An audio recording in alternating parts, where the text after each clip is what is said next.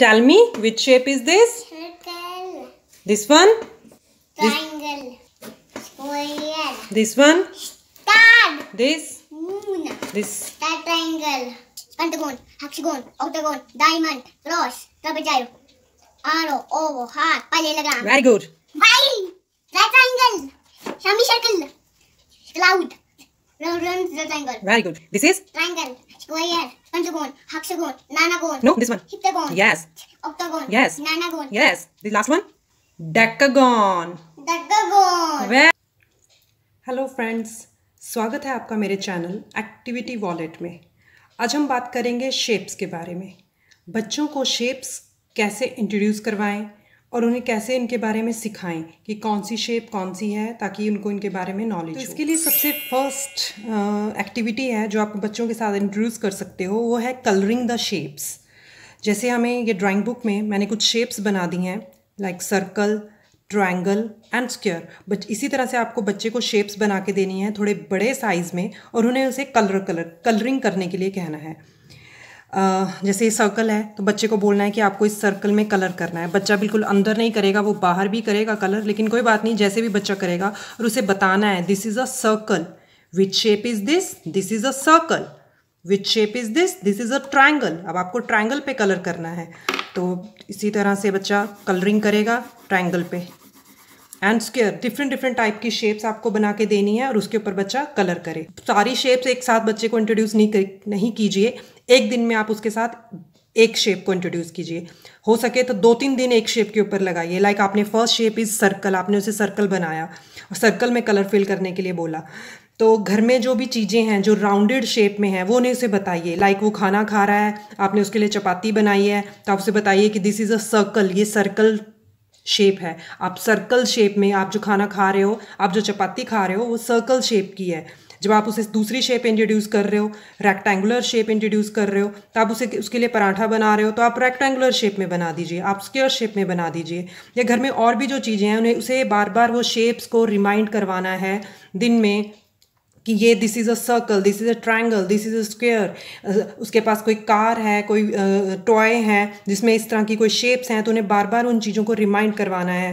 अब कार के व्हील्स हैं this is a round shape car के ऊपर मिरर है कोई this is a square shape और या फिर रेक्टेंगुलर शेप तो इस तरह से हमें बार बार बच्चों को उन शेप्स के बारे में रिमाइंड करवाते रहना है। तो फ़र्स्ट एक्टिविटी है हमारी this is colouring the shapes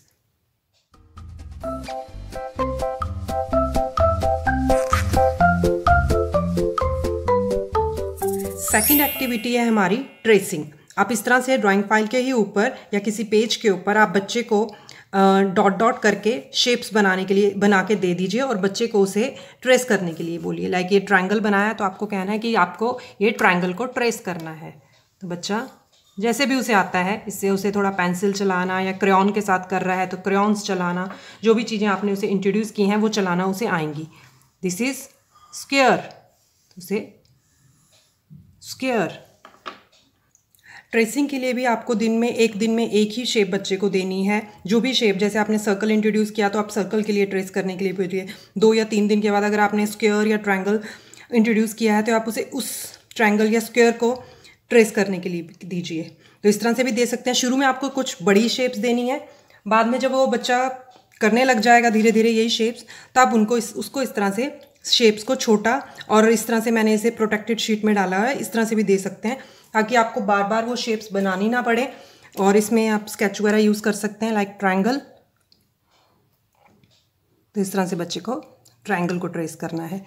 square बच्चे को स्क्वेयर को ट्रेस करना है।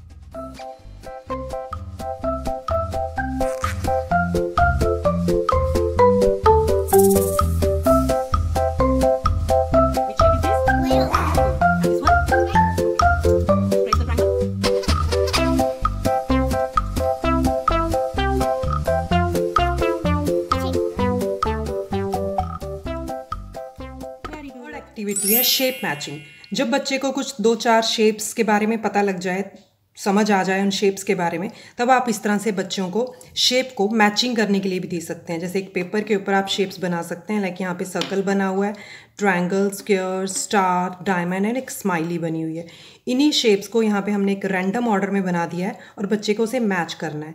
इससे बच्चे की विजुअल डिस्क्रिप्शन भी अच्छी होती है, जैसे सर्कल है तो बच्चे को पहले यहाँ पे ढूंढना है कि वो सर्कल कहाँ पे है। स्टार्टिंग में आप कलर आप सेम कलर्स दीजिए ताकि बच्चे को थोड़ा इजी हो। जैसे सर्कल है तो सर्कल के साथ बच्चे को मैच करना है। This is a circle what is what which shape is this बच्चा बोलेगा दिस इज़ ट्राइंगल तो आप उसे कहना है कि आप यहाँ पे ट्राइंगल को सर्च कीजिए।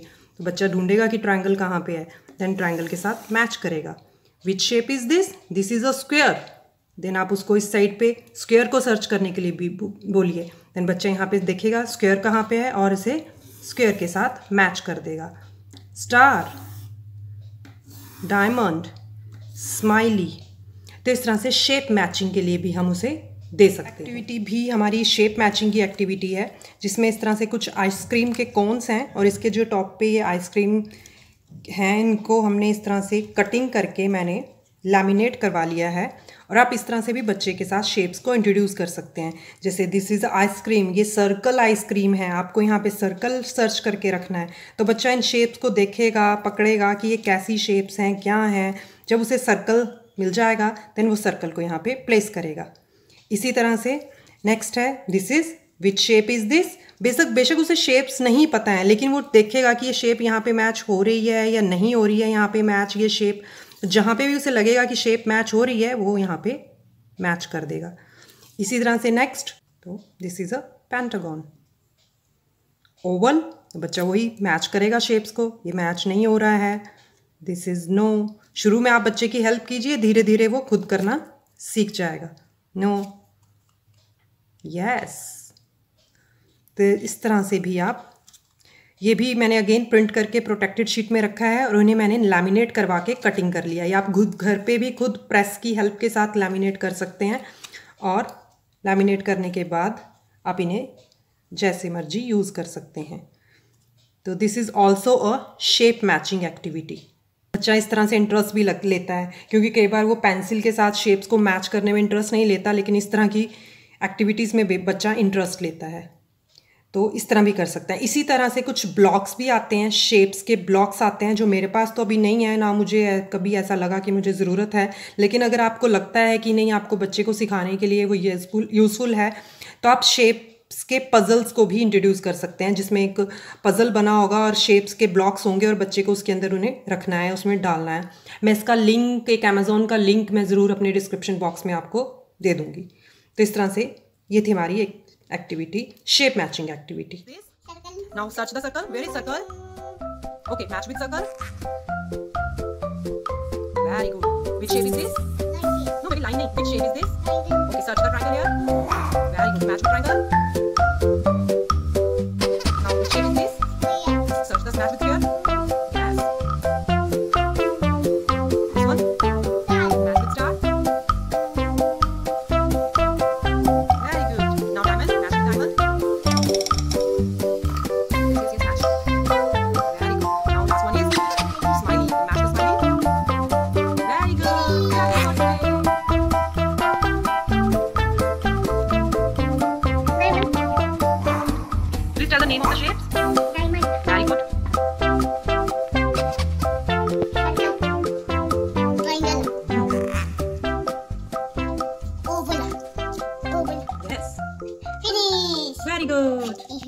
activity है शेप पज़ल बहुत तरह के पज़ल मार्केट में भी मिलते हैं, आप वो परचेज़ कर सकते हैं। मैंने यहाँ पे खुद ही घर पे कार्डबोर्ड की हेल्प के साथ पेपर को कट करके या उसके ऊपर कलर करके इस तरह से कार्डबोर्ड की हेल्प के साथ कुछ एक शेप टू पीसेस एक शेप के दो पीस कर दिए हैं बाद में कट करके एंड इस तरह से हम पज़ल्स भी बच्चे को इंट्रोड्यूस कर सकते हैं। बहुत ही ईजीली आप घर पे ये पज़ल बना सकते हैं।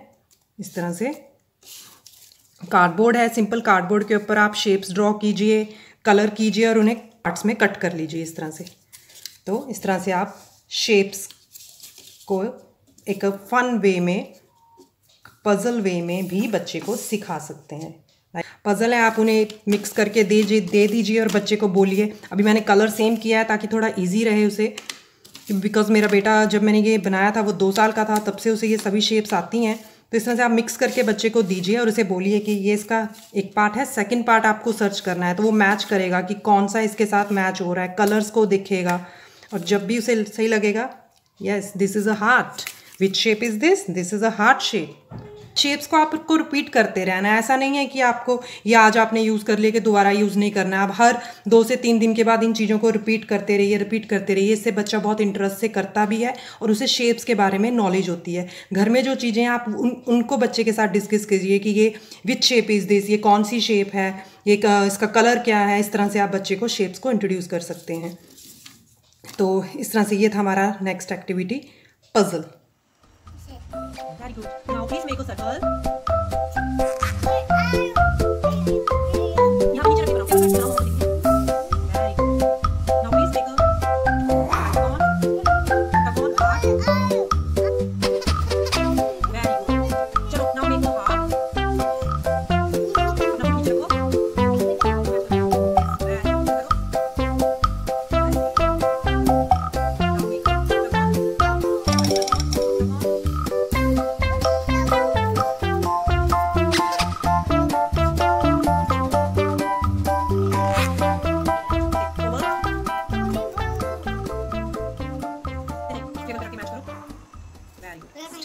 Charts आप इस कुछ मार्केट से बड़े साइज़ के चार्ट्स भी ले सकते हैं, या फिर इस तरह से कुछ प्रिंट करके भी आप बच्चों को सिखा सकते हैं। जैसे कि ये कुछ बेसिक शेप्स थी जो मैंने प्रिंट करके ली थी अपने बच्चे के बेटे के साथ इंट्रोड्यूस करने के लिए। इससे पहले भी एक और शेप है जो मेरे बेटे ने इसमें कलर कर दिया है, जिसमें just trying square sorry rectangle square circle star triangle heart था। इसके बाद उसको मैंने कुछ और न्यू शेप्स ऐड की। इस तरह से न्यू शेप्स उसको बताई। ये, और इसके बाद अभी उसे ये सभी शेप्स आती हैं। ये सारी शेप्स वो बताता है विद नेम तो इस तरह से आप चार्ट्स भी यूज़ कर सकते हैं या आप प्रिंट आउट करके ले सकते हैं और डेली बेसिस पे बच्चे को उसे रिवाइज कराना है। Which shape is this which shape is this which shape is या फिर आप फ्लैश कार्ड्स बना सकते हैं। फ्लैश कार्ड्स भी बहुत इजीली आप घर पे भी बना सकते हैं और मार्केट से भी खरीद सकते हैं। दोनों तरह से आप। लेकिन अगर आप ये चीज़ें घर पर बनाएँ तो ज़्यादा अच्छा है क्योंकि बच्चा भी उन चीज़ों में इंटरेस्ट लेता है। तो इस तरह से आप शेप्स शेप्स को एज अ चार्ट्स या फिर फ्लैश कार्ड्स के थ्रू भी बच्चे को इंट्रोड्यूस कर सकते प्लेडो आप प्लेडो भी इंट्रोड्यूस कर सकते हैं बच्चे को शेप्स सिखाने के लिए। जैसे आप शेप्स कोई भी शेप बच्चे को थोड़े बड़े साइज़ में वो शेप बना के दे दीजिए और बच्चे को आपको कहना है कि आपको इस शेप्स को प्लेडो के साथ बनाना है। अगर प्लेडो नहीं है तो आप घर में आटा भी यूज़ कर सकते हैं। तो इस तरह से बच्चे को बोलना है कि आपको प्लेडो के साथ इस शेप को क्रिएट करना है। तो बच्चे बहुत इंटरेस्ट से ये करते हैं। प्लेडो में बच्चे को बहुत इंटरेस्ट से बच्चा करता है। तो इस तरह से प्लेडो के साथ बच्चा, बच्चे को शेप्स को बनाने के लिए बोलिए कि आपको प्लेडो के साथ ये शेप क्रिएट करनी है। डिफरेंट डिफरेंट कलर्स आप फ़ूड कलर्स आप यूज़ कर सकते हैं। अगर आप आटे के साथ बना रहे हैं तो आटा गूंद के उसमें फ़ूड कलर्स आप यूज़ कर सकते हैं उनको कलर देने के लिए डिफरेंट डिफरेंट कलर्स में प्लेडो बनाने के लिए। अगर आप चाहते हैं कि मैं आपको प्लेडो बना के दिखाऊँ तो आप मुझे कमेंट बॉक्स में ज़रूर बताइए तो मैं आपको प्लेडो बना के भी दिखाऊँगी आटे के साथ। तो इस तरह से। के साथ आप एक और तरह से बच्चे के साथ शेप्स को इंट्रोड्यूस कर सकते हैं। जिस तरह से मैंने यहाँ पे कुछ एयरबर्ग्स ली की स्ट्रिक्स ली हैं जिसमें से मैंने कॉटन यहाँ से हटा दी है। आप चाहे ऐसे यूज़ कर सकते हैं या फिर आप मैच स्ट्रिक्स भी माचिस की जो तिल्ली होती है उसे भी यूज़ कर सकते हैं। तो इस तरह से प्लेडो के हमने कुछ सर्कल्स बना के रख दिए और इसमें जस्ट बच्चे को बोलना है बच्चे को बोलना है कि आपको इसके साथ ट्रायंगल शेप बनानी है या स्क्वेयर शेप बनानी है। तो इस तरह से बच्चा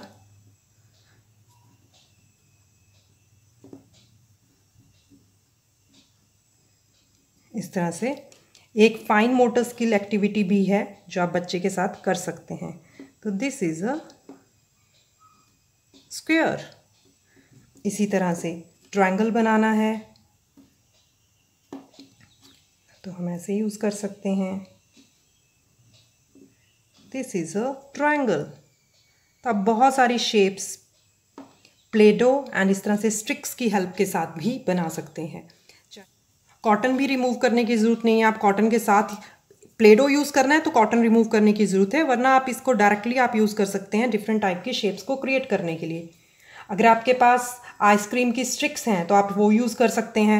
आइसक्रीम स्टिक्स नहीं है तो आप इस तरह से डायरेक्ट भी आपके पास जो भी है घर पे अवेलेबल आप वो यूज़ कर सकते हैं। बच्चे को दीजिए और जब उसे शेप्स के बारे में पता चल जाए तो आप उसके साथ इस तरह से शेप्स को इंट्रोड्यूस कर सकते हैं। इस तरह से डिफरेंट डिफरेंट टाइप की शेप्स हम क्रिएट कर सकते हैं। एक्टिविटी अगेन हमारी एक कलरिंग एक्टिविटी है, लेकिन with the help of this stencils ये भी मैंने कार्डबोर्ड के साथ कट किए हुए हैं। जैसे बच्चे को ड्राइंग बुक के ऊपर आप इन स्टैंसिल्स को रख के, रखिए इस तरह से, और उसे बोलिए कि इसके अंदर आपको कलर करना है। तो बच्चा इस तरह से इसके अंदर कलर करेगा। वो कैसे भी चलाएगा रब करेगा कलर्स और देन उसे उठा दीजिए स्टेंसिल को। तो नाउ बच्चे को बोलिए, देखो, आपने यहाँ पे ट्रायंगल बना दिया, इसी तरह से स्क्वेयर तो इस तरह से आप कुछ स्टेंसिल्स की शेप्स में, कुछ कार्डबोर्ड को कुछ शेप्स में कट करके रख लीजिए और इस तरह से बच्चे को आप दे सकते हैं। जैसे मैंने यहाँ पे ट्रायंगल स्क्वेयर एक बिग टाइप बिग रेक्टेंगल मैंने यहाँ पे बनाया हुआ है। इसी तरह से आप बहुत सारी शेप्स और इनके जो पीसीज हैं, आप उनको भी रख सकते हैं। उनको भी यूज़ कर सकते हैं बच्चे के साथ कि ये ट्रायंगल शेप है this is square shape this is circle shape तो इस तरह से हम स्टेंसिल्स की हेल्प के साथ भी बच्चे को दे सकते हैं। नेक्स्ट एक्टिविटी है हमारी कुछ हाउस होल्ड आइटम्स को यूज़ करके। आप इस तरह से एक ट्रे में कुछ आइटम्स बच्चे को दे दीजिए। नॉर्मली घर में हमारे पास जो आइटम होती हैं वो सर्कल या रेक्टेंगुलर या स्क्वेयर शेप में ही होती हैं। तो आप जब स्टार्टिंग में बच्चे को शेप्स इंट्रोड्यूस कर रहे हैं तो उस टाइम पे हम ये चीज़ यूज़ कर सकते हैं।